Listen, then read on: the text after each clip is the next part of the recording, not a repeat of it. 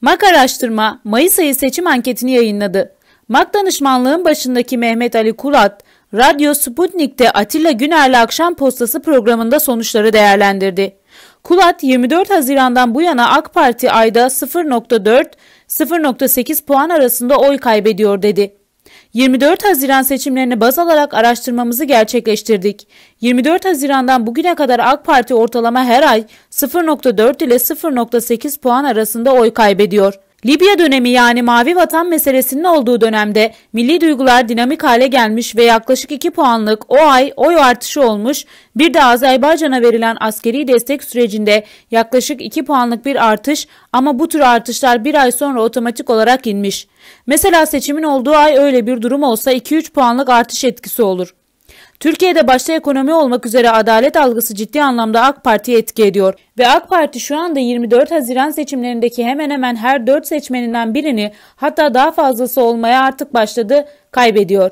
AK Parti şu anda %28 civarında seyrediyor. %28'in içerisinde 2 puan kadar kentte yaşayan HDP'li Kürt seçmenin kendilerini AK Parti içinde kamufle etme durumu var.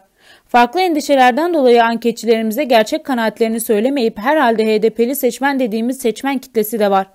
HDP anketlerde baraj altı görünse de aslında baraj üstü. AK Parti'de %28 görünse de %26 bandında seyrediyor da olabilir. CHP 24 Haziran seçiminde %22 bandındaydı ve uzunca bir süre o civardayken oy artışı dikkat çekiyor. Belediyelerde ortaya konulan performans ilgiyi arttırıyor. %2-3 oy oranının oradan geldiğini düşünüyoruz. Bu ay oy oranı biraz daha arttı. Çünkü HDP'nin %10 barajını aşsın diye destek veren ama aslında CHP'li olan seçmenin bir kısmı tekrar partisine dönüyor.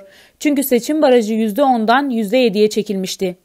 MHP'deki oy düşüşü AK Parti ile doğru orantıda devam ediyor. Çünkü iktidarın yanlışlarının ortağı görülüyor seçmen tarafından.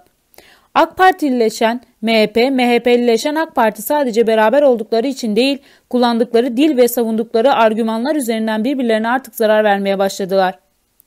Bir AK Partili MHP'li gibi konuşmaya, bir MHP'li de AK Parti'yi aşırı savunmaya başladığı için kan kaybına uğramaya başladı. Oyunu arttıran en dikkat çekici parti şu an için İyi Parti. AK Parti ile yolunu ayıran her dört seçmenden ikisi İyi Parti'ye giderken geri kalanlar Deva Partisi ve Gelecek Partisi'ne gidiyor. Bu ayki araştırmanın şaşırtıcı kısımlarından birisi Bağımsız Türkiye Partisi.